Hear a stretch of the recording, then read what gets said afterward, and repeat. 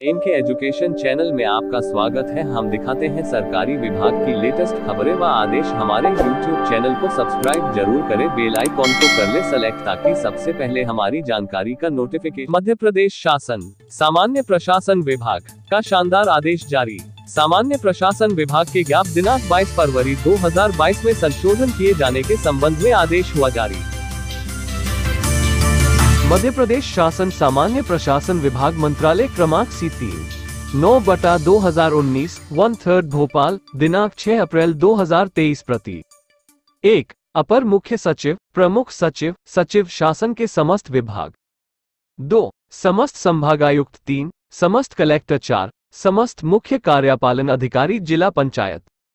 मध्य प्रदेश विषय, शासकीय सेवा में नियुक्ति के लिए विभिन्न वर्गों को प्राथमिकता दिए जाने संबंधी सामान्य प्रशासन विभाग के ज्ञाप दिनांक 22 फरवरी 2022 में संशोधन किए जाने के संबंध में।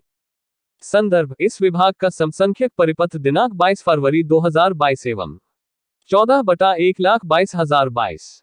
उपर्युक्त विषयक सामान्य प्रशासन विभाग के समसंख्यक परिपत्र दिनांक 22 फरवरी 2022 की कंडिका वन के बिंदु क्रमांक आठ में डी प्रमाण पत्र के प्रावधान को समाप्त करते हुए निम्नानुसार संशोधन किया जाता है। राष्ट्रीय छात्र सेना एनसीसी के उम्मीदवारों को जिनके पास सी प्रमाण पत्र, सी एक मध्य प्रदेश के राज्यपाल के नाम से तथा आदेशानुसार गिरीश शर्मा